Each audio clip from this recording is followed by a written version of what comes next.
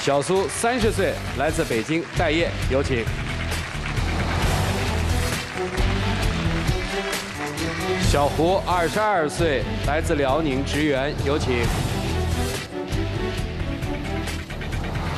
欢迎两位啊，女生要来，男生要来的呀？是我。啊，是你哈？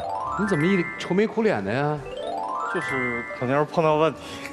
那也不至于这么愁眉苦脸，您那眉毛拧的啊。他怎么了？跟大家说。我们两个本来就有年龄的差距嘛，然后有的时候生活中很多事情我不能理解他。这个人是一个非常古板的人，在我看来。啊。比如说他喜欢花现金。今天我约他出来看电影，他提前到了电影院，我说你先去买个电影票。正常大家在手机啊什么各种客户端、微信上面都可以买得到票，二三十块钱就解决了。他去了不，他就非要花现金，拿一百块钱办了一张电影卡。本来四十块钱能解决的事儿，非要花一百块钱办一个电影卡，而且那个电影票后面都是带零头的，后边带个几毛钱，就比如说二十九块九。那我电影卡里剩那几几块钱几毛钱，那不是钱呐？那我留着它干什么呀？然后还得继续往里头搭钱，就是当时给我气的都不行。这就是一个个人习惯嘛。除了这个看电影用现金，你其他的支付方式现在也用现金吗？呃，不一定，看那个当时什么状态。哦。所以这没什么，这也不算古板吧。但是他有的时候其实吃饭呀，或者买衣服什么，他都其实挺喜欢用现金。有时候坐个出租车，他也喜欢交，大家找不开零头嘛。其实这都不算什么。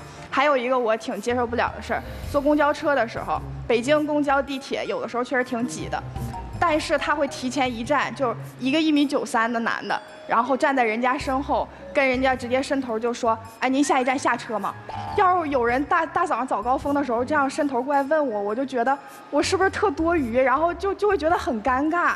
他自己都不会，他每一次都是这样子。这事儿是这样，就是说我之前被卡过，有人不下车就是站在中间，我只是过去问一下，我也没说是恶意的去去抨击别人。那你早高峰的时候大家都挤，大家都知道后边有人要下或者怎么样，也没见说谁哦就站那儿过去问，哎你下车吗？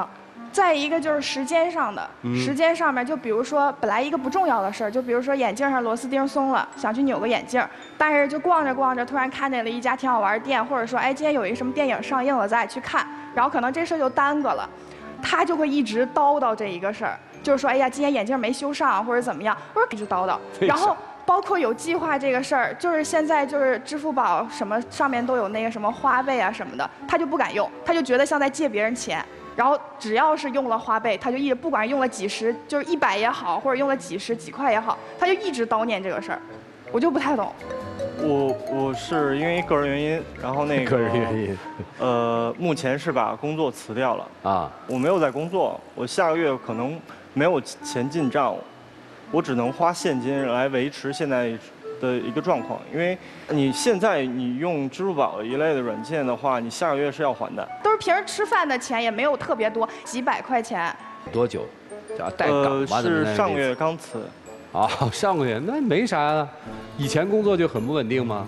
以前工作很稳定。所以这个习惯是因为辞职之后才有的，是吗？这希望对，那这这没什么呀。但是就是让我觉得那没必要一直叨念这个事儿吧。一路上都不开心，不管出去玩还是怎么样，只要用了这些东西，就一路上坐在地铁上，就整个人就是这个表情，就是他刚上台那个表情，一路都是那样，不管你开不开心玩的。我真觉得都这都是无所谓的事儿，干嘛把自己搞得这么紧张呀？压力比较大是吗？是，现在是辞了以后，因为钱用的差不多了，压力肯定会。钱用的差不多，就积蓄差不多了是吧？找工作去啊！当时辞职是因为，第一，我上一份工作是加班，我这个工种就是加班。你在网络公司肯定要加班啊！这个你都不用说，你的网络公司，我现在做广告，我觉得我都要加班吧。在北京加班这太正常了，因为加班辞职，我觉得这说不过去。不是说因为加班辞职，然后还有一方面是家里房子要装修，两边我顾不过来。跟他交往的话，如果真的是天天加班的话，没有时间陪他。然后我说，我说我想去换一份工作。换一个工种来继续维持现在现在的生活。您可别提现在这工作这事儿了。前一阵子说自己要去快餐店去打工，然后本来年前的话，就是因为他比我大一些嘛，年前的话准备就是见一见家里面的人啊什么的。他现在找工作是挺不好找的，在我看来是挺不好找的。你如果去快餐店打工耽误了这么长的时间，然后等你去我家，我倒是不在意。那我妈呢？我妈肯定会说。说现在哦，你男朋友在快餐店打工，你我又不是一直都在快餐店。但是你耽误了这一段时间呀。我觉得就是说骑驴找马不怎么耽误事儿吧。你工作也要忙，然后那边面试也要忙，你本来还说什么家里房装修也要忙，你有几个头呀？